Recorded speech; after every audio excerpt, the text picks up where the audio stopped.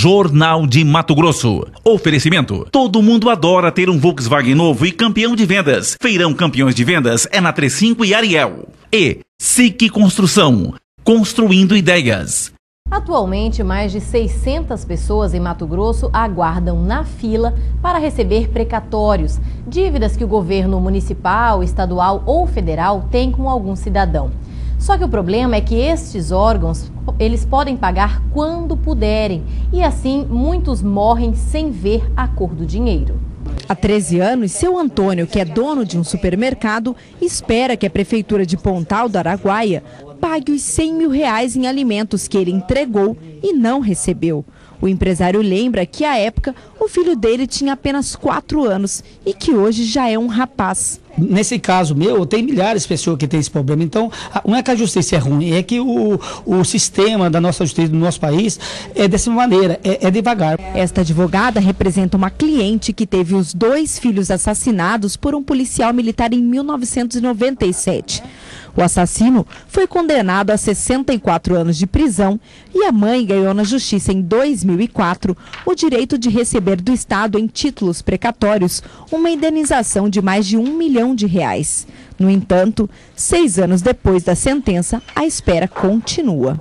A informação que me passam é que o Estado disponibiliza meio milhão por mês para pagamento de precatório e o que acontece? Chega uma, uma empresa gigante na frente dela de 15 milhões, para tudo.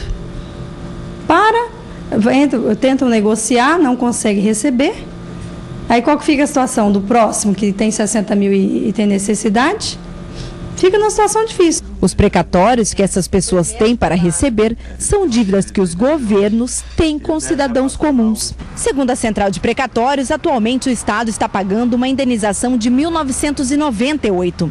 Outros 633 titulares aguardam para receber e a dívida já chega a um bilhão de reais.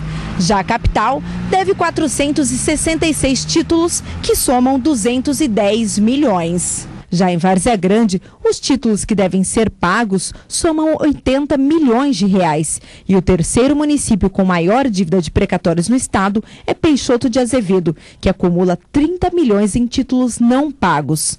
A demora no pagamento se justifica pela falta de orçamento, mas o Tribunal de Justiça informou que mecanismos efetivos estão sendo implementados para obrigar o pagamento dessas dívidas. Com o advento da emenda constitucional 62, existe uma obrigação do, do Estado de passar 1,5% da receita corrente líquida e municípios 1%. Então, hoje, existe uma efetividade de, que, de, repa, de repasse de valores, até mesmo porque já existe mecanismo de, de obrigação de, desses entes devedores de pagarem sob pena de sofrerem sanção, inclusive de repasse de verbas públicas. Outra mudança baseada na emenda constitucional 62/2009 beneficia idosos e portadores de doenças graves. Será feita uma, uma, uma fila em separado e observado. Agora, é, essa, esses valores são limitados a três vezes o valor da RPV.